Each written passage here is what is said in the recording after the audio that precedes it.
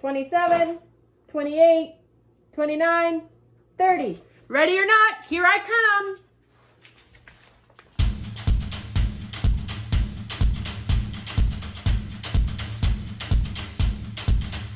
Oh, I found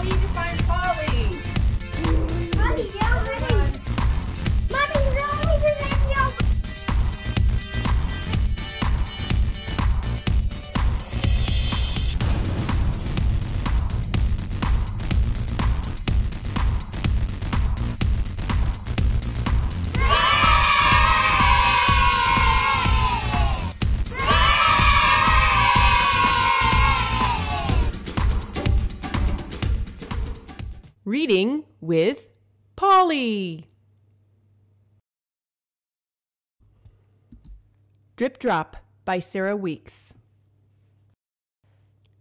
Pipsqueak lay in his bed. Something wet fell on his head. Drip drop, plip plop.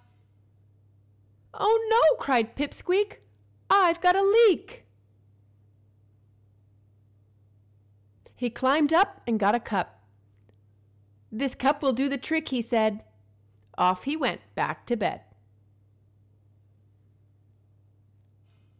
His eyes had just begun to close, then something wet fell on his toes. Drip drop, plip plop. Oh no, cried Pipsqueak, I've got a new leak. Away he ran to get a pan. This pan will do the trick, he said. Off he went back to bed. He closed his eyes and snuggled in. Then something wet fell on his chin. Drip drop, plip plop. Oh no, cried Pipsqueak, I've got another leak.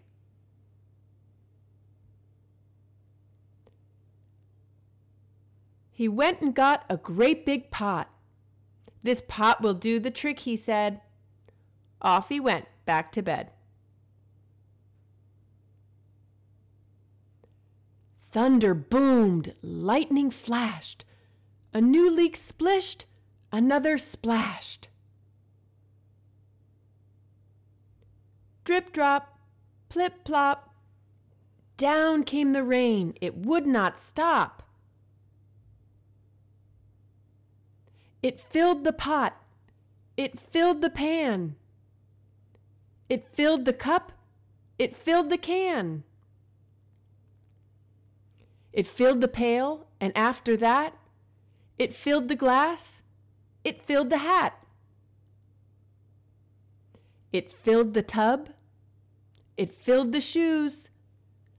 Pipsqueak did not know what to do. There was nothing left to catch the drips or drops or plips or plops. I give up, said Pipsqueak. Just go ahead and leak.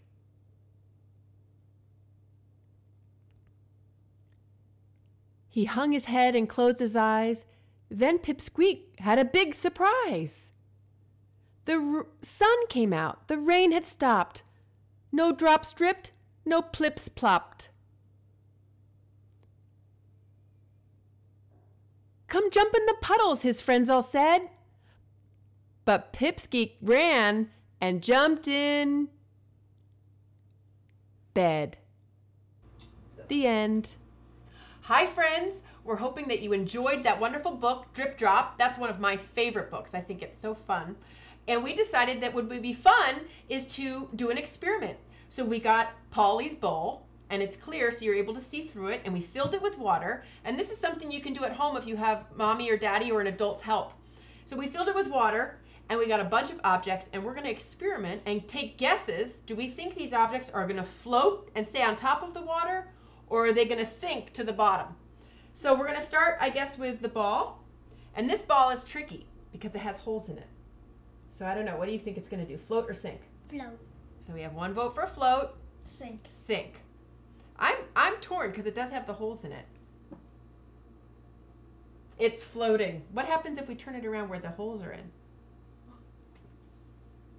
Hmm. It sank, but not totally to the bottom. But I guess let's see If we push it down, if we nope, Oh. still floats. So it still floats even when it's filled with water. That one's a tricky one because with the holes, you would think something with a hole would fill up and sink to the bottom, but that's a float one. Okay, what about an apple? Now an apple, you can feel it. It's pretty heavy. Feel it. Hmm. What do you think is going to happen? me, to me it's light. Oh, you think it's light? Do you think it's going to float or sink? I think it's gonna float. What do you think? You think? I think you said float before. Yeah, I Yeah, think float? It, it might float. Okay. I'm not sure. It's not It is too pretty heavy. but I don't know. On- Let's see. It's floating. It's floating. First it went down, and I thought, oh, this is gonna sink. Nope. Even though it's heavy, it floated. Which tells you you can never know. You think boats can be pretty heavy on the water, and those float. So you can never tell. Okay, now we have two water bottles, because I don't know if this is gonna make a difference. One is full of water, and the other one is half full of water. What do you think the full water is gonna do? I think it's gonna float. You I think it's gonna float? I think it's gonna. Okay. What do you think? What do you think at home? Do you think it's gonna float or sink? Let's try. Sink. It floats. Yeah. No. It's kind of floating. I don't know. That's Is that the floating. I can get my fingers under it. Yep, that's floating. And that maybe it's because there's a little air bubble in there. So if that one floats, my guess is what's gonna happen to this one. Float. Float, Float. float. That one floats even higher, right? Because it has more air inside. So that one floats higher than the other one. That's a good experiment, but they both mm-hmm. floated. Now we're doing the coin. Okay, a coin. This is a quarter worth quarter. 25 cents. Who cares? So that's a that's a lot of money. 25 cents. It's not you know, a penny's only worth one. Sink. Sink. Sink. Sink. And you know what? You know what that reminded me of before I threw it? You know when you go to a fountain and you make a wish and you mm-hmm. throw it in there and it sinks to the bottom and that our coin did. It sank to the bottom. And it doesn't do you think it matters if it's a penny, a nickel, a dime or a quarter? No. They're all going to they're all going to sink. All right, what about scissors? They have holes in it and our baseball had holes in it. Sink. Sink. Sink. Sink. Sink. Sink. Don't put your scissors in water. They'll get all rusty. That's just for our experiment. We'll make sure to dry those off. What about, oh, I have two things here. What are these? Spoons. I have spoons. One of them is made of metal, Sink. and one of them is made of plastic. Sink. Float. All right. So let's see. We have the metal one. No. Sink. What about the plastic one? So that's a that's a sinker. But it has holes in it. It has holes in it. It does have some holes in it. It It's gonna float. It's, it's, a wait. floater. So you can have two of the same thing. Both are spoons, but this one's metal and this one's plastic. So they do different things. Our last one a comb to comb your hair. You want to feel it? Float? What do you think? Float. Float. Float? What about you at home? What do you think? Sink or float? It floats. Float. That's a good floater. I like that one. Did you guess sink? No, I, I guess float. You guessed float. Well, some of these are tricky. So that's a fun experiment with all our different floaters and sinkers I with our water. float. You I knew knew that one. You got that one right. So I hope you had fun at home with our with our thing. I think Paulie's going to come out and say some goodbyes. He's been whispering back there. Uh, and so we'll see if we can get Paulie out to say goodbye to all of his friends for the day. Bye. Hi, everybody. Paulie and I want to thank you so much for joining us today, being with us during our story time and activity. It's so much fun learning together, isn't it? You learned a lot of signs today. When we read our, our book, Drip Drop, we learned the sign for wet. We learned the sign for drip, drip, plop, plop. We had a lot of fun signs there. And we learned the sign for bed because Pipsqueak kept going back to bed, didn't he? You can go to sleep like this. So there was a lot of fun signs. Paulie, you have binoculars there. What are you doing? You you trying to see some friends? Let's see. Let's put those up there. See, let's see. Put those on. Do you see? Who do you see, Paulie?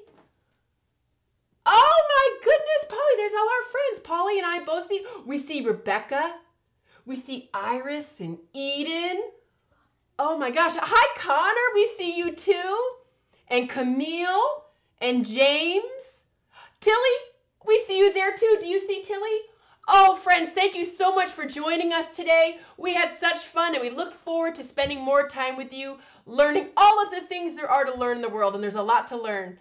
Everyone, be good, be safe, and we'll see you soon.